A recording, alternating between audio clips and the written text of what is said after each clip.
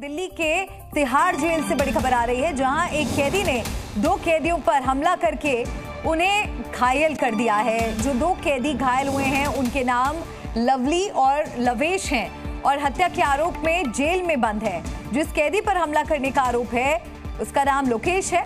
लोकेश के भाई की हत्या के आरोप में लवली और लवेश जेल में बंद हैं। बताया जा रहा है कि जिस वक्त फ़ोन रूम में दोनों कैदी घर वालों से बात कर रहे थे, उसी वक्त लोकेश ने दोनों पर हमला कर दिया, जिसमें दोनों घायल हो गए। कल शाम एक कैदी हॉस्पिटल से वापस जेल लाया गया, लेकिन एक अभी भी हॉस्पिटल में भर्ती है। तो दिल्ली के तिहाड़ जेल से ये बड़ी खबर है, तिहाड़ जेल में कैदियों पर जानलेवा हमला हुआ है। जी न्यूज़।